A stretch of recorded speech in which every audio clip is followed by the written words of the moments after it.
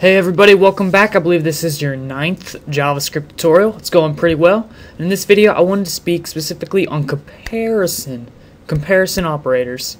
So I didn't mean to say that twice, but the first time I didn't really, I like stuttered there, so just ignore that. But anyways, I want to talk about comparison operators and logical operators. So let's get started.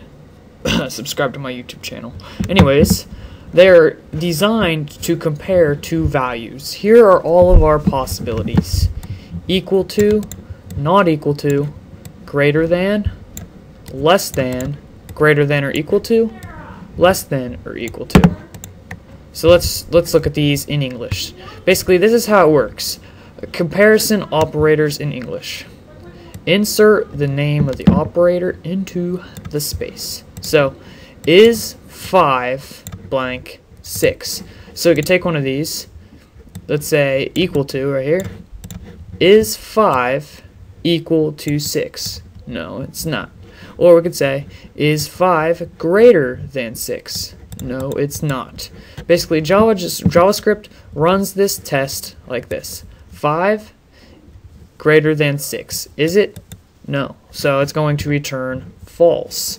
Oftentimes we will use this to return true or false for conditionals. An if statement, although we're not this video is not specifically designed to describe if statements in detail, I'm going to be explaining them a little bit so we can understand this concept. Although if you want to learn more about this, check out my if statement video in the future.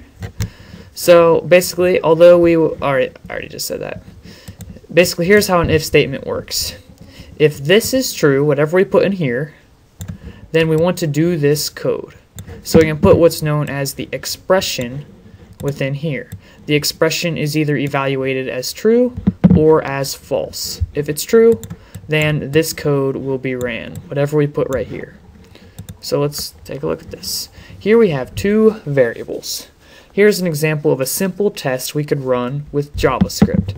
We, if we wanted to, we could get these values from inputs on the website so people could put their answers in. The, the code is going to process that and it will give back an answer. So we have money in bank and then price of movie. These are both declared variables.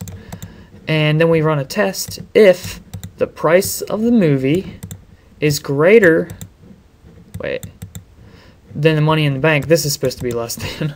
Duh. So if the if the price of the movie is less than the money in the bank, go to the movies. Basically, that's saying if the price is less than what you have, so we have $60, the movie only costs 6 That means we can go to the movies because we have enough money to do that. So, what it, it does, if the price of the movie is less than the money in the bank, and it is because it's 6 and the money in the bank is 60 then this code will get initiated or initialized or processed or, or uh, whatever you want to say. It doesn't really matter. The code runs. So here are some more examples. That These all evaluate as true. 5 is equal to 5. 6 is not equal to 10. 9001 is greater than 300. 30 is greater than or equal to 10. 30 is also greater than or equal to 30. 10 is less than 100. 10 is less than or equal to 11. 10 is less than or equal to 10. So now we are getting into, I guess we could test test those before we get into something new. So basically here I have a new HTML and a script. I could say uh, we can make an if statement here, and it looks like this. Usually make the outline first. And then within here, we could say 5 equal to 6. And then right here, I could say, oh man, I'm so sorry about that, guys. Uh, I'm, I'm sorry about that. I'm sorry. This is true. So once again, to explain this, if this evaluates as true, this code is going to be ran, so we're going to alert something. Well, this is not true because 5 is not equal to 6, therefore this is not going to run when I refresh the page. As you can see, nothing happens. Although if I make something true within here, 5 is equal to 5, then I refresh the page, and this alert comes up, this is true. And we'll be getting into better ways to display our information rather than alerts, because alerts are annoying, but we'll be getting that into future video. So that is an example of an if statement. Alright, so now we have logical operators. And, or, and not. These can be used to test multiple things within the single if statement. So here, and evaluates true if both tests evaluate as true. So basically, we have this really big uh, thing within the if statement, the expression, I'm sorry. So basically, we put parentheses between, we put parentheses around each expression for visually, to visually see what's going on. So if this and this evaluates as true, do this code. So if x, which would be declared earlier in our program, so we could say x equals 10, if x is equal to 5, it's not, so, and x is greater than 3, well these evaluate, this one evaluates to true, this one evaluates to false. So this is not going to work because they both have to test as true. But if I made this 5, well now 5 x is equal to 5 and x is greater than 3. Therefore this code is executed. Or evaluates as true if either tests evaluate as true. So if x is equal to 5 or x is greater than 10. So I could say var x equals 11. Well, alright, this is false. It's not equal to 5, but x is greater than 10. Therefore, this code will execute.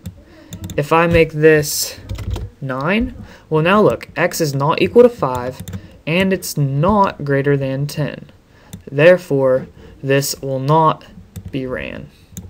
Now for this one specifically, these will both never be true because if x equals 5, well then it is automatically less than 10, not greater than 10. Although because this is an OR state, or a OR expression, sorry, that means it will still be executed, so that's good. The not evaluates as true if the test evaluates as false. So that's a little confusing, so let's look at this. If 10 is greater than 20, well, it's not. So it evaluates as false. But because of this uh, exclamation mark here, it's actually going to evaluate this entire thing as true. So you can read this in English as if 10 is not greater than 20, then execute this code. So that would actually evaluate as true, this up here, and the code would be executed. So we can look at that in an example here. So we could say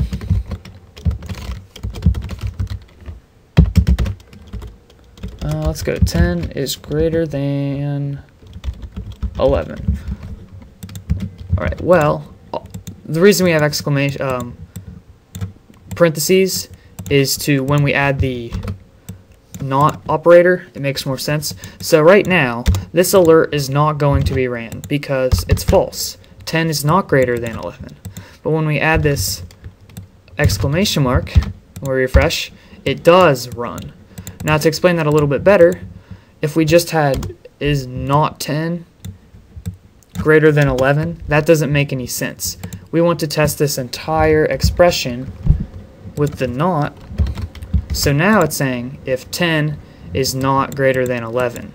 Without these extra parentheses, it wouldn't really make sense. So that's what we can do for this specific example. Alright, there's something you need to know about called short-circuiting a test. So this is an AND short circuit. If a test evaluates as false, the first one, JavaScript does not waste its time to continue testing the expression. So look, five, if 5 is greater than 10 and Well, this is ignored. That's because this is false. And for an AND to work, they both have to be true. So if one of these is false, that means it doesn't even matter if this one's false or true, because they both have to be true in order for it to run. So if one is false, automatically the whole thing is evaluated to false.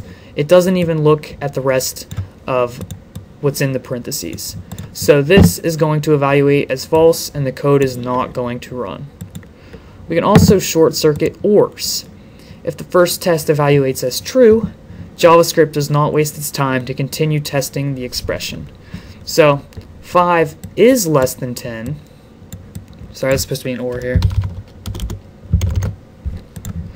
This is ignored. Why is this? That's because this one is automatically true because once it's tested, it's true. Therefore, one of the total possibilities in here is true, and the whole thing is considered true. That's how an OR works.